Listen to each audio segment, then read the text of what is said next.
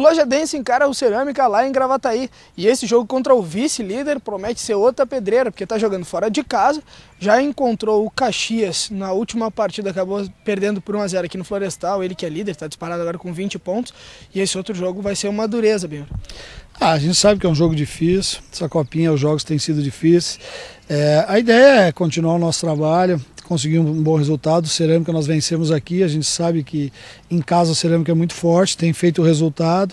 Eu acho que só perdeu para o Caxias lá, venceu o Novo Hamburgo, mas a gente está aí para fazer o trabalho. A classificação já foi alcançada, mas nós queremos nos posicionar um pouco melhor, até para cruzar com os adversários um pouco um pouco mais, um nível mais baixo do que a gente ficando, na verdade, em quinto lugar, a gente pega o primeiro da chave 1, que seria o Inter, né? Então a gente quer fugir, um, ao menos esse primeiro mata-mata dos adversários. Porque a Copinha, na verdade, ela tem aí, de repente, um teor de um pouco mais, ser um, um, campeonato um pouco mais fácil em função daqui a pouco dos times estarem com foco em outros campeonatos, né? Por exemplo, a Jadense, o grande objetivo dele é o gauchão do ano que vem, mas não dá para esquecer também que é um torneio e tem aí daqui a pouco um, pode levar o time até para uma Copa do Brasil.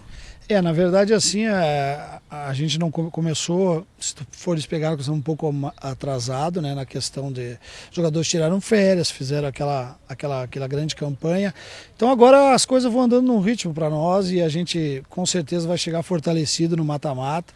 Acho que o Lajadense é um dos times que com certeza vai chegar entre os quatro, a gente acredita nisso, o grupo acredita nisso. A gente sabe que o futebol tem suas dificuldades, por isso que a gente está tentando uma melhor colocação, para evitar nesse primeiro mata-mata cruzar com adversários mais fortes, mas pode ter certeza que nós temos dois jogos importantes para nós né, em questão de pontuação, mas queremos chegar muito forte no mata-mata, desculpe. E sabendo que essa Copa RS é realmente uma boa preparação, uma excelente preparação para o gauchão do ano que vem, 15 de janeiro está começando aí o Gauchão Série A, um novo desafio e talvez muitas caras que nós temos hoje no Lajadense nós não vamos estar vendo no ano que vem e alguns reforços podem estar surgindo para o Alve Azul. Como é que está essa função de negociação, até porque o diretor de futebol hoje tem aí uma. E o supervisor eles têm uma característica toda de buscar esses, esses novos talentos aí para o Lajadense, mas tu também está envolvido direto nisso, né, Binho? É, na verdade, nós, a diretoria, a gente está em contato diariamente, tem trabalhado bastante.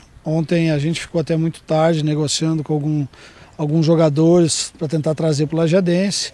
É o jogador tendo interesse e sendo um jogador que a gente queira, a gente passa para a questão para o financeiro, né?